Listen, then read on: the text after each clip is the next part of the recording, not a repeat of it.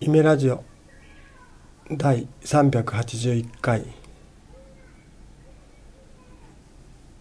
日は平成29年4月28日金曜日です。時刻は午前11時。横浜港北晴れてきました。緑が明るいです。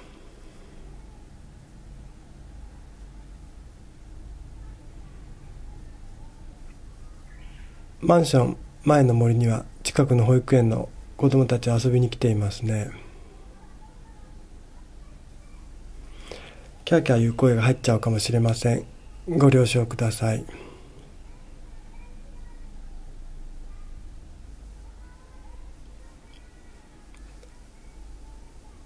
マーケットは水曜日に今週大きく取引して木金は動きなし。休んでいますね相場。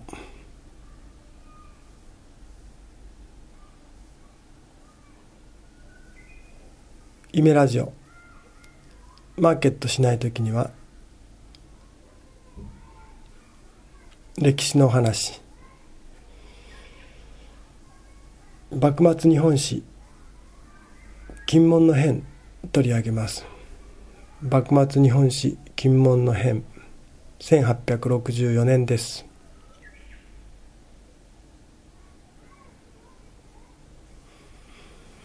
前年1863年の上位運動から話を起こしましょう。幕末の帝孔明天皇は上位論者。その上位論者であった孔明天皇の意を受け1863年に上位実行した藩が2つ長州と薩摩。長州は下関の砲台から外国船に向かって砲撃。薩摩は鹿児島の砲台からイギリスの船に向かって砲撃。これが1863年のこと。文久3年です。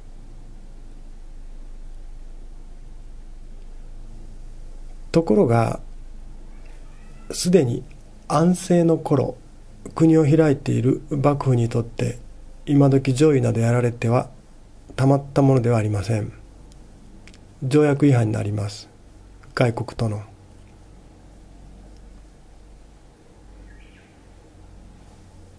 薩摩と長州はこの頃から仲良かったような錯覚になりますが違いますね。上位を実行したという点では同じでも大きな違いがこの時にはあったんですよ。薩長両藩の間に。すなわち長州藩にはすでにこの上位実行が倒幕へとつながる動きあったんです。ただし薩摩は倒幕の気配なし。薩摩の島津久光は一橋慶喜とよく会ってましたね。うん。薩摩に倒幕の意思なんかなかったんですよこの時。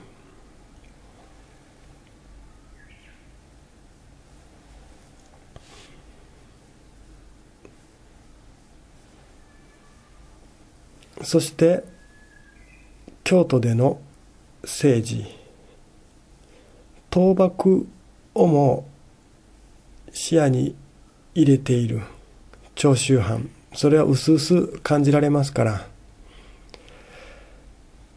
幕府軍はっていうか幕府側はそんな長州を京都で孤立させていくんですね政治的に。この動きに一橋慶喜大きく加わりました。こういう政治工作は得意だったんですね。一橋慶喜さん。やがて1863年文久3年の8月に京都から長州藩及び長州藩に属する公家たちが追放されるという事件。これ8月18日の政変と言われます。聞いたことありませんか？8月18日の政変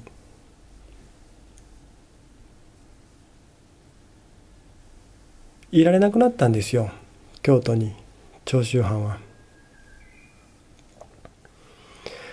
ただし長州藩としては、うん、自分たちの行動は帝の意にかなったものであるという自負あり悪いのは帝をしっかりね帝の意をしっかり伝えずどころか帝の意図は正反対の開国などやっている幕府こそ悪い。話せば帝は自分たちの意思を分かってくれる。で翌1864年長州藩。3つの方向から京都に登って御所を囲みそして御所に入って自分たちの気持ちを直に帝に話そう。そういう挙に出ました。これが今回のテーマ金門の変です。浜栗御門の変とも呼んで御所には今でも浜栗御門という門があります。そこが戦いの舞台に大きな舞台になりましたから浜栗御門の変または金門の変ですね。1864年です。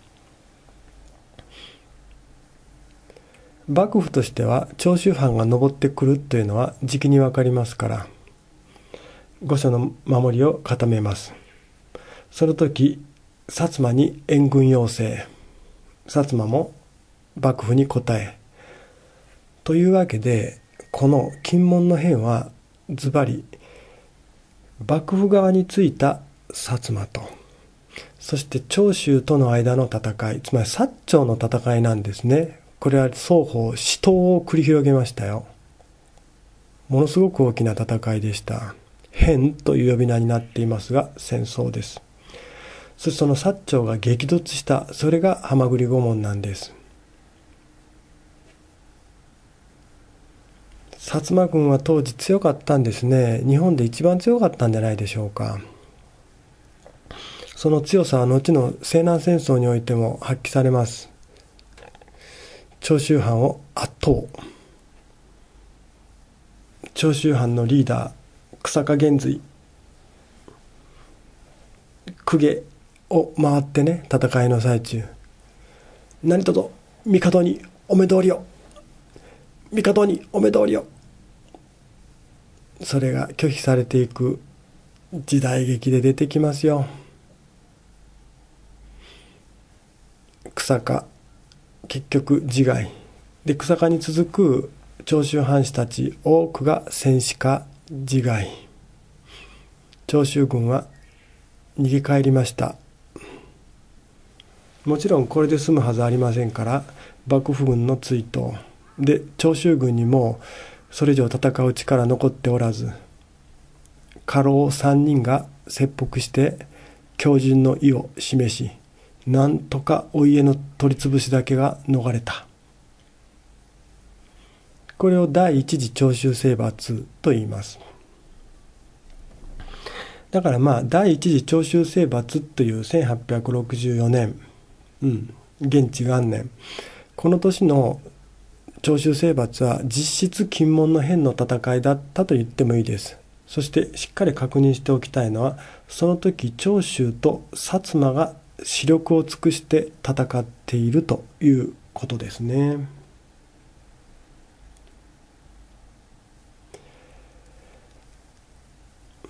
しかも長州藩前の年に下関の砲台から砲撃を加えその報復がこの1864年にやってくるんですねもう。で下関の砲台占領されました外国の軍隊によって。これ写真が残ってます。下関の砲台を占領する外国軍。絶対絶命です。金門の変。第一次長州征伐によってもう幕府軍あるいは薩摩軍にコテンパンにやられそして下関の砲台は外国に占領され。だからもう長州藩も毛利家ももうこの辺で終わりだとなるはずなのにここから大きな維新回転。これはまさにドラマですね。その維新回転についてはまた回を改めてお話しましょう。今回のテーマは金門の変。つまり長州軍が幕府軍薩摩軍にボロ負けした京都の浜栗御門でね、うん、そういう戦いについてお話ししました。81回目の「夢ラジオ」幕末について。外の光はもっともっと明るくなりつつあります。今からお昼の時刻です。